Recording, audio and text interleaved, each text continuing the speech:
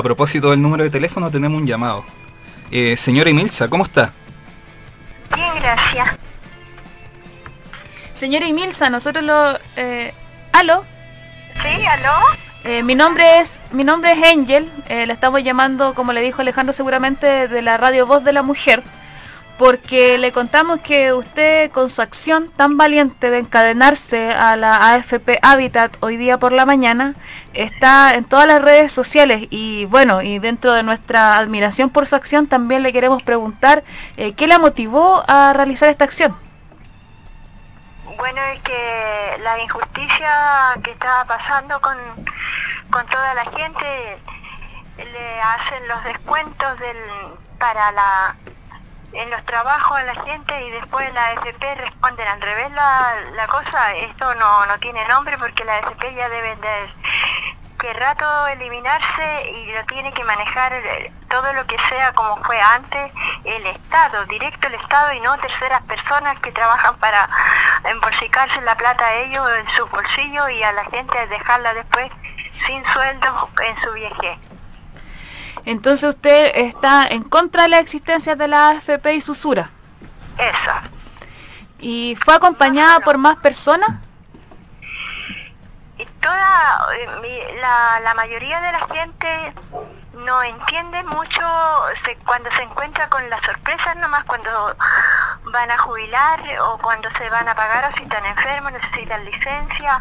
Hay una serie de cosas que no las cumplen en el bien de la gente y la plata es directa de los trabajadores porque ellos no ponen ningún peso para acompañar las plata, la plata es directa de todos los trabajadores y ellos han hecho lindas oficinas por todas partes y salen con las plata, invierten en el extranjero, hacen negocios para allá y después a la gente de repente le dicen que la bolsa, se, se sabe por las noticias, que la bolsa bajó y que está en pérdida, que se perdió una cantidad de plata de los intereses de la FP. Resulta que la FP no pierden nada, la- son ellos los que se roban las plata y a la gente con sus negocios y a la gente la dejan mirando para el lado.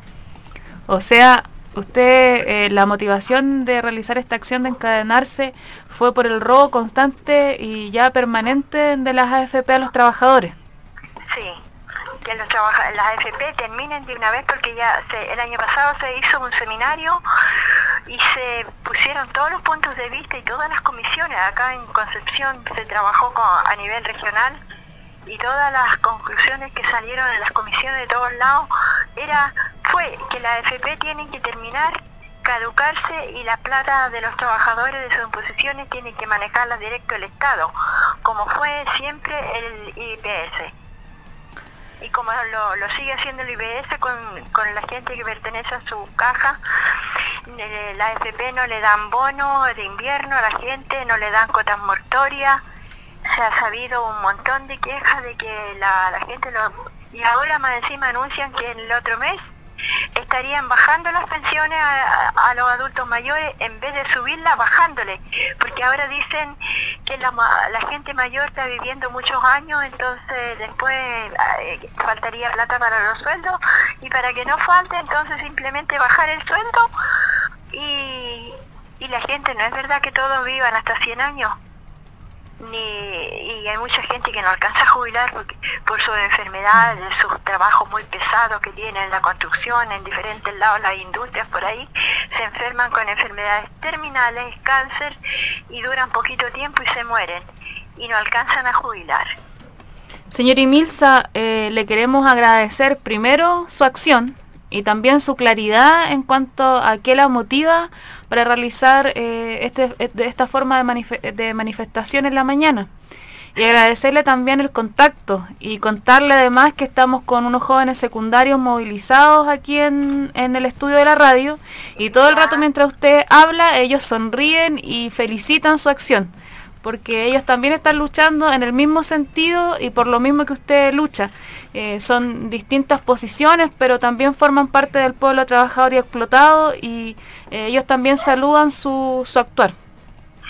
Y yo le digo de que eh, salió una entrevista en el CNN anoche, a las 10 de la noche, donde estamos, eh, habíamos cinco personas invitadas, esta entrevista fue el martes, pero salía anoche. Ya. Al, a la, como le dijera yo, a la opinión pública que se viera los temas que se trataron. Entonces se habló de educación, se habló de salud, se habló de todos los temas y para que se componga lo, el bienestar de la ciudadanía, se tiene que la constitución ya hacerle una limpieza porque la constitución está contaminada del año 80, de antes, porque cuando del 73 la constitución del 25 la, la tiraron al basurero y no rigió más esa constitución y después del 80 inventaron una constitución arreglada entre cuatro paredes un par de personajes y haciendo sufrir a todos los ciudadanos con todos los derechos que pusieron al revés. Entonces los estudiantes, también se habló de eso, la educación tiene que ser como fue antes, de calidad, y el Estado se tiene que preocupar de los estudiantes en primer lugar y la salud de toda la gente, que de verdad eso es que corresponde.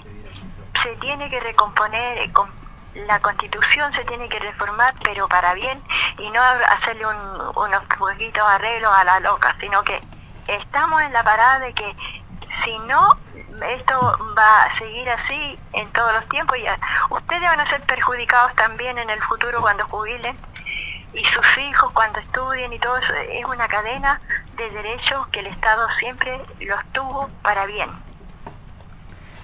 Señora Emilsa, eh, le queremos contar además, a modo de anécdota, que usted en este momento es muy famosa a nivel nacional. Su acción ha tenido una repercusión muy importante a nivel nacional y por lo tanto eh, el mensaje que usted nos entrega a través de su acción eh, también está teniendo muchas repercusiones. Así que esperamos que las personas que han visto sus imágenes y hoy día y ahora están escuchando, bueno, ayer escucharon su, opinión a través de, la televisión y hoy día a través de la radio, eh, puedan también sumarse y ser también actores eh, de, para poder conseguir lo que usted nos está proponiendo que nos está proponiendo un cambio de fondo y también un cambio de sistema en el fondo y hay mucha gente mayor que está postrada en cama, hay mucho sufrimiento en la gente mayor y a veces se encuentra con que no tiene quien los cuide, su familia no tiene familia y hay gente que lo pasa pero mal de remate en los últimos tiempos de vida. Sí, entonces también eh, pedirle a esas personas eh, mayores eh, que nos cuenten y nos conversen. Quizá usted en algún momento podría ser una invitada al programa Cero a la Izquierda si es que acepta para que podamos conversar más profundamente de estos temas. Ahora le agradecemos el contacto y le agradecemos también su acción. Y le decimos que la despedimos con un... Gracias porque la labor de ustedes es difundir, hacer eh, todo lo que es porque el bien de toda la ciudadanía, no es para, un, para uno, dos o tres. Sí. Muchas gracias a usted. Gracias, señora Emilsa. La despedimos con un gran y afectuoso abrazo. Y saludo a todas las presentes personas que están ahí apreciando la información. Gracias. Chao, señora Emilsa.